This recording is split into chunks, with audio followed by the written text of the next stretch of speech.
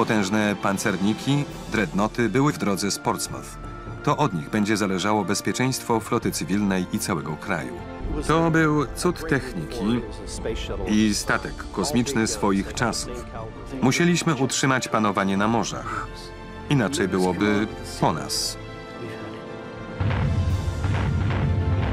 Zbliżała się morska konfrontacja przemysłowych mocarstw. Oczekiwano, że lada chwila rozegra się nowe Trafalgar. Wojna o morza. Pancerniki z bazy Scapa Flow. Odcinek pierwszy. Premiera w TVP Historia. Dziś o 21.05 i w niedzielę o 20.00.